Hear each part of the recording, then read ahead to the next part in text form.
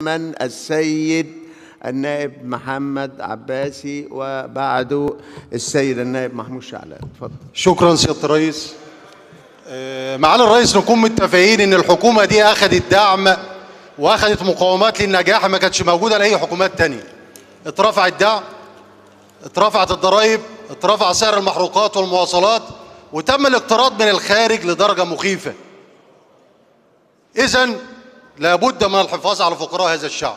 لو كل وزير من اللي قاعدين دول شاف مهامه ونزل وسط الشعب هيعرف الحقيقة اللي هو ما يعرفهاش غير بالمعلومات اللي بتجيله وهو قاعد في التكييف في مكتبه.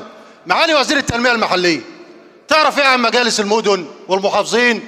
اللي عملوا المحافظات يعني عزب آه لا ب... لو ت... لو تكرمت وجه الكلام للمناطق. عملوا المحافظات يا سيادة الرئيس عزب بيجيب صاحبه سكرتير عام وصديقه سكرتير مساعد. واللي كان بيشتغل معاه زمان رئيس مدينة. وإحنا اللي بنعاني وإحنا اللي بندفع الضريبة. والوزير ما بيستجيبش. معالي وزير المالية. حضرتك عملت إيه في الدين الخارجي؟ يا. معالي الرئيس معالي وزير المالية. طبقا للائحة. عمل إيه في الدين الخارجي المتضخم والدين الداخلي؟ حضرتك أدرت أصول الدولة إزاي وعظمت من الاستفادة بتاعتها.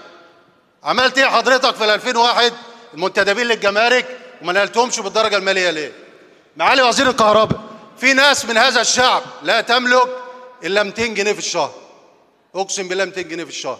هيدفع فاتورة إزاي 250 جنيه. ارحموا هذا الشعب. معالي وزيرة السياحة هي بتعمل إيه؟ محدش شايف سياحة في البلد. إيه دورها؟